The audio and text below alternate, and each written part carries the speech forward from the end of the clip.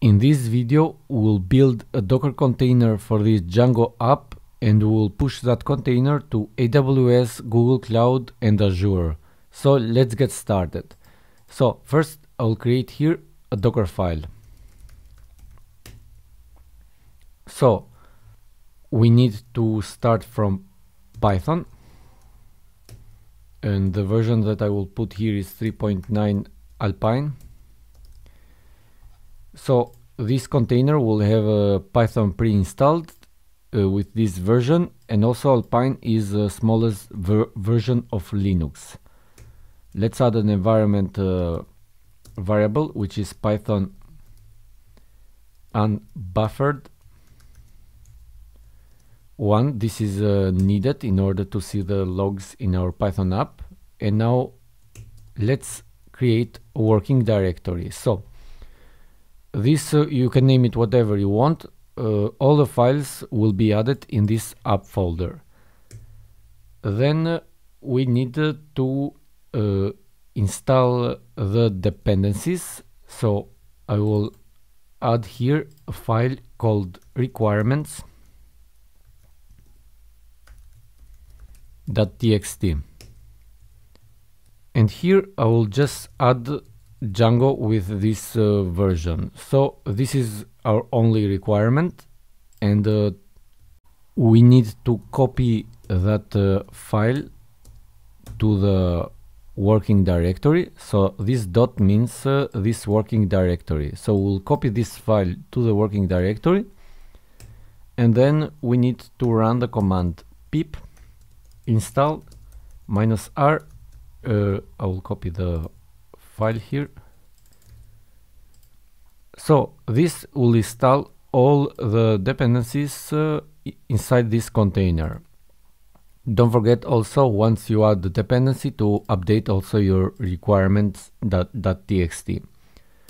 Once we install everything we'll copy all the files. So we'll copy everything here to this uh, working directory.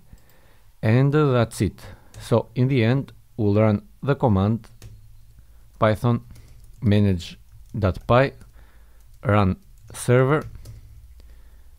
I'll put here the host it needs to be 0 0.0.0.0 so it should be inside the docker container so this should be the the port uh, the host sorry and the port should be 80 why did I uh, change the port to 80 because uh, all our containers in this uh, project will run on port 80 and I'm reusing videos so that's why I put 80 but if you want you can put uh, the normal port 8000 so let's run this docker file. To run this docker file we have to build we have to build it first. So docker build and we want to specify the name for this uh, container. So to specify a name put minus t.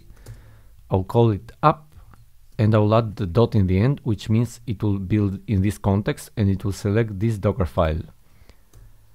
Let's run it and uh, as we can see it's building. Let's wait till it's completed. So it is built. Now this container uh, can be pushed to the cloud but before let's test it on our browser. So uh, to test it on our browser run docker run. We need to specify a port. So for the back uh, for the container is uh, 80 as we saw. And in our frontend uh, in our uh, browser we can put whatever port we want. I will put 8888 in the end we need our container which is up. Let's run it as we can see our server is running and now we can go to our browser and type localhost port 8888 and this is our Django app running. So uh, the container is working fine and now we are ready to push it to the cloud. I will also close the IDE because uh, we won't use it anymore so I'm logged into my Azure portal here and uh, before I create anything make sure to have uh, installed the Azure CLI. So download the right version for your machine and uh, follow the instructions. you will have access to this az command which uh, it will show these options so before uh, so let's go back to the azure portal and uh, we will create a container registry. So we don't have any container registry yet so let's create a container registry. So uh, I will create a container registry here. The resource group I, I have a demo, demo resource group here which I added just the name. The registry name I will call it app. So it needs uh, to have uh, five characters so I will call it my app. Uh, already in use so my container.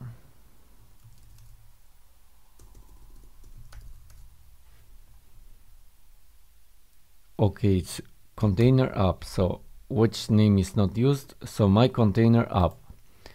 I will use this uh, name and uh, for the location you can pick your location. For the SKU I will select the basic version. Let's create it. And uh, we can uh, create this uh, registry. And now that we created our registry uh, we need also to log in. So uh, first we have to log in uh, via Azure like this az login. So we need to sign into our account here. And uh, we logged into Microsoft Azure. So as we can see uh, it uh, shows this data. So after we log in there we have to run this other command. So uh, Azure uh, Azure Container Registry login and here we need the name which was which was up. So let's copy it also. So go to the resource and let's copy the URL which is uh, this one. So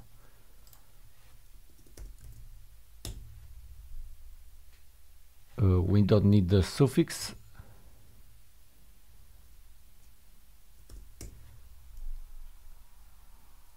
so let's log in. So this will allow us to push the docker container to azure. So we successfully logged in. And uh, now that we logged in we can uh, push our image. To push our image first we have to tag the image. So docker tag. The name of our container is app and uh, I'll paste again this uh, URL which I copied and uh, we need to add in the end slash app. So this is uh, our uh, repository here.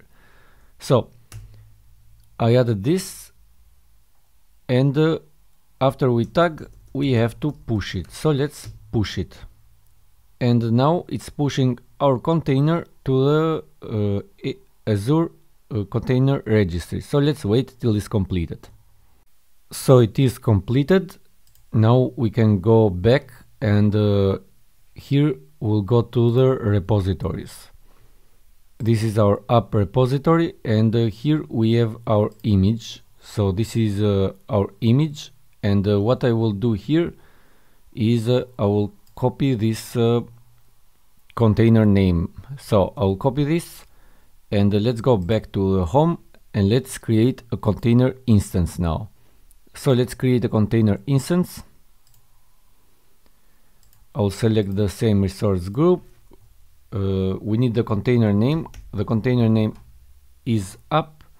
And uh, we have to select the image source to Azure Container Registry. And we have our uh, container app. So uh, we need to enable uh, admin here. So let's click learn more. And we have to run this command. So uh, I will copy this command. And I will run it here. So we need the, the uh, name here or I will write it directly. Not sure if we need uh, my container app. So I made a mistake here. It should uh, be with uh, one M not two M's. So it is enabled and uh, now we can uh, use it. So uh, do we need to refresh here? I will refresh. And I will select this resource group. I will select up here registry and now it is selected. So uh, everything is correct. I'll change the size here. I will keep everything minimal. So 0.5 is uh, minimal uh, memory. So I'll select this review and create. Uh, also I think uh, I forgot something. So uh, we need to also go to the networking part and we have to map the port 80 so by default is automatically mapped. So we don't have anything to change. But if your container port is different we need to select here the uh, the other port. So 80 is correctly. And uh, we don't need to uh, change anything else. Let's create it